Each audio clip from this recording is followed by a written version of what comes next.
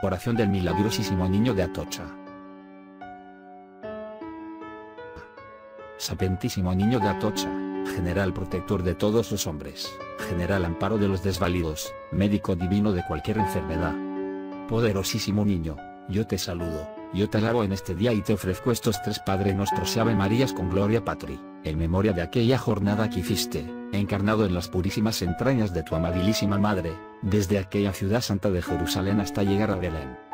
Por cuyos recuerdos que hago en este día, te pido me concedas lo que te suplico, para lo cual interpongo estos méritos y los acompaño con los del coro de los querubines y serafines, que están adornados de perfectísima sabiduría, por los cuales espero, preciosísimo niño de Atocha, feliz despacho en lo que te ruego y pretendo, y estoy cierto que no saldré desconsolado de ti, y lograré una buena muerte, para llegar a acompañarte en Belén de la gloria.